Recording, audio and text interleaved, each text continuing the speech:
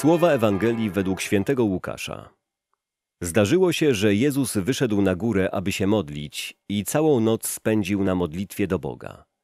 Z nastaniem dnia przywołał swoich uczniów i wybrał spośród nich dwunastu, których nazwał apostołami.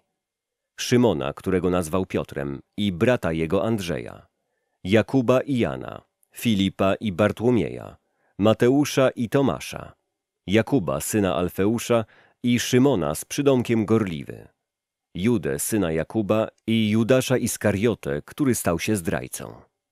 Zeszedł z nimi na dół i zatrzymał się na równinie. Był tam duży poczet jego uczniów i wielkie mnóstwo ludu z całej Judei i z Jerozolimy oraz z wybrzeża Tyru i Sydonu. Przyszli oni, aby go słuchać i znaleźć uzdrowienie ze swych chorób. Także i ci, których dręczyły duchy nieczyste, doznawali uzdrowienia. A cały tłum starał się go dotknąć, ponieważ moc wychodziła od niego i uzdrawiała wszystkich. Z nastaniem dnia Jezus ustanawia dwunastu spośród swoich uczniów apostołami oraz dokonuje licznych uzdrowień. Jednak to, co dokonuje się za dnia, poprzedzone było nocną modlitwą Jezusa. Chrystus trwa na modlitwie przed Ojcem, konsultując z Nim swoje działanie. Niczego nie czyni sam, ale wszystko czyni w porozumieniu z Bogiem Ojcem. To ważna wskazówka dla nas. Niczego nie róbmy sami, ale wszystko wpierw konsultujmy z Bogiem. Nie bójmy się marnować czasu dla Boga. Nie mamy lepszego przyjaciela, obrońcę i wspomożyciela, jak właśnie Boga. Warto wszystko w naszym życiu odnosić do Niego, Jemu zawierzać i z Nim współdziałać.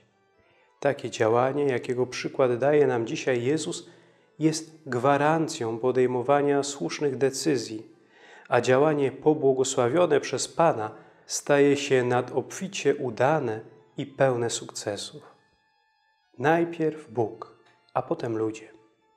Jezus nie zostaje na górze całymi dniami, nocami, tygodniami, miesiącami, ale po nocnej modlitwie schodzi w dół do ludzi.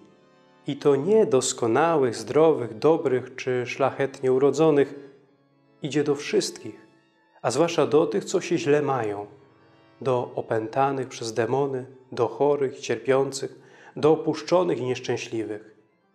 Nie stroni od nich, ale także nie akceptuje zastanego stanu rzeczy.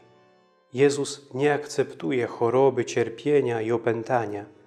On się temu sprzeciwia, uzdrawia, uwalnia z niewoli zła, naprawia wszystko, co człowiek popsuł, aby przywrócić pierwotny ład ustanowiony przez Boga. Nam także nie wolno się zgadzać na nieszczęście i cierpienie innych. Wpatrzeni w Chrystusa udajemy się na rozmowę z Bogiem, aby poznać Jego wolę, skonsultować z Nim nasze pomysły, a potem wychodzić do ludzi, aby zanieść im Boga i Jego łaskę.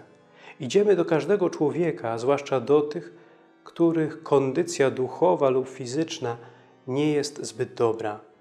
Naśladując Chrystusa, chcemy wszystkim nieść dobroć i miłość, aby świat, w którym żyjemy, stał się Chrystusowym Królestwem.